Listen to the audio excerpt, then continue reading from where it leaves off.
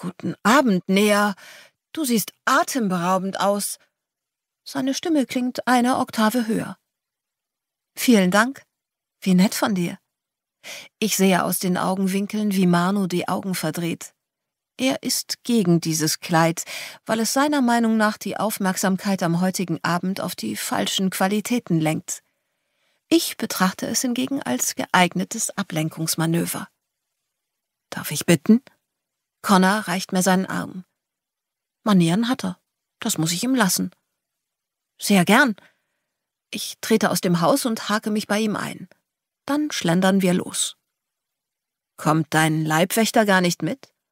Connor sieht sich fragend um. Nein, hier auf dem Gelände bin ich sicher. Aber Mano wird nicht untätig bleiben.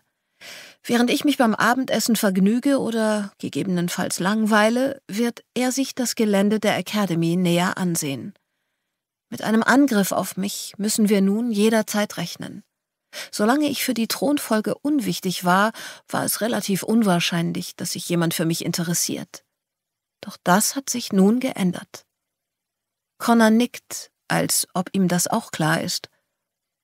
Hast du dich ein wenig ausruhen können? Er wechselt in einen lockeren Plauderton, der dafür sorgt, dass ich mich tatsächlich entspanne. Ja, das konnte ich. Es ist schön hier. Das ist keine Lüge, denn das ist es wirklich. Mittlerweile ist es zwar schon dunkel geworden, aber der schwere Geruch der feuchten Blätter liegt dennoch in der Luft und erinnert mich an das beeindruckende Farbenspiel der Bäume.